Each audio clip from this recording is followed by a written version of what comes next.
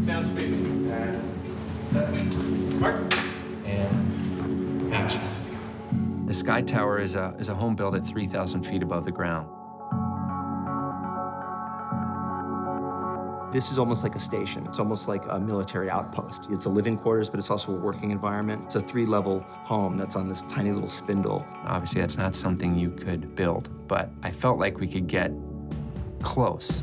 Before the movie started principal photography, we went to Haleakala, a volcano in Maui. We set up three cameras that captured sky, cloud, sunrise, sunsets, stars. Then we took that footage and we front projected it on a massive screen that surrounded the set.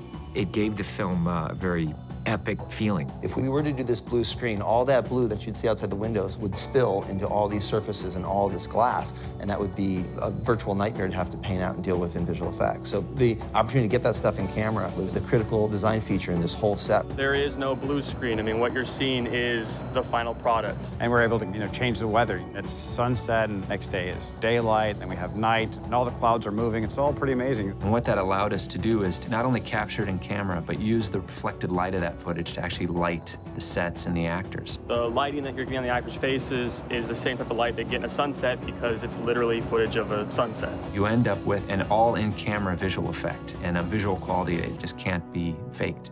And the actors really enjoy it too because they're actually in a place that has clouds surrounding them.